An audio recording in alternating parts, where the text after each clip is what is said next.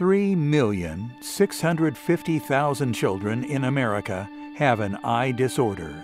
Of these, 2,200,000 children have amblyopia, a visual impairment in which one eye fails to work properly with the brain.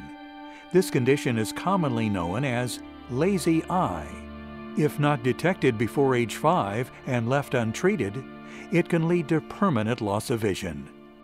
When you have lazy eye, you do not have depth perception. Lacking depth perception, you will have difficult time judging which car is closer to you or hitting a baseball with a bat or any ball game, you will be poor performer.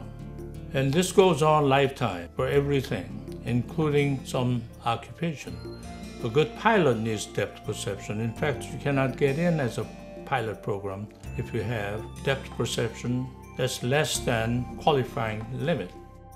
Treatment is simple eye patching or eye drops. The Midwest Sight Foundation, NFP, is dedicated to detecting amblyopia in children before it's too late for treatment. In order to save sight, we developed the Children's Vision Project. We train teachers and child care providers to detect symptoms of amblyopia.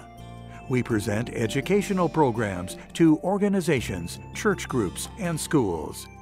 We also screen children, all free of charge. You can help us by spreading information to your friends and family members. You can serve in screening sessions as a volunteer. You can invite us to your meetings or events so we can present the program or buy financial support. Please contact us and support us. 217 423 9000. Midwest Sight Foundation, NFP.org. Our email address is Midwest Sight Foundation, NFP at gmail.com.